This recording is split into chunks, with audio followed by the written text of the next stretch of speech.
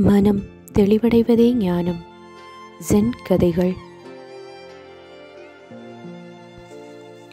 அனைத்தையும் சுமக்காதே. ஜென் துறவிகள் ரெண்டு பேர் தொடர்ந்து பெஞ்ச மழையினால ஒரு குடிசைக்கு கீழே ரொம்ப நேரமாக நின்றுட்டு இருந்தாங்க.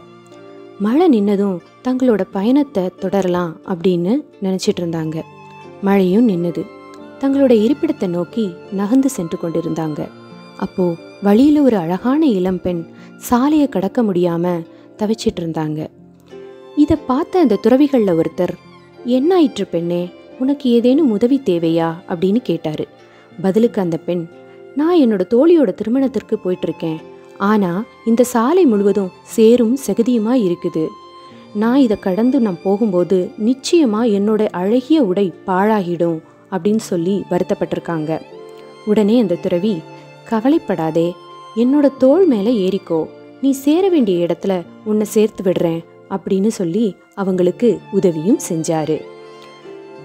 உதவி செஞ்சுட்டு திரும்பி வர்ற வழியில தன்னுடைய நண்பரான இன்னொரு துறவி கோபமா இருக்கிறத போல அவருக்கு தோணுச்சு.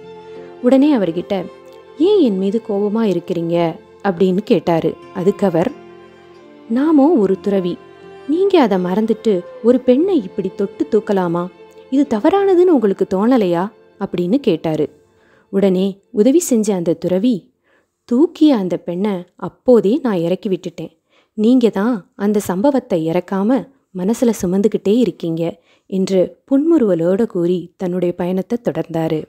இதே போல தான் நம்ம வாழ்க்கையிலையும் எத்தனையோ பேர் காயங்களை ஏற்படுத்தியிருப்பாங்க. அதை நம்ம மனசில் சுமந்துக்கிட்டே இருக்கோம். எது முக்கியம் எது தேவை அப்படிங்கிறத பகுத்து பார்த்து தெரிஞ்சுக்கிட்டோம்னா நம்ம வாழ்க்கை என்றைக்குமே சந்தோஷமாக இருக்கும். ஓம் புத்தாய் நம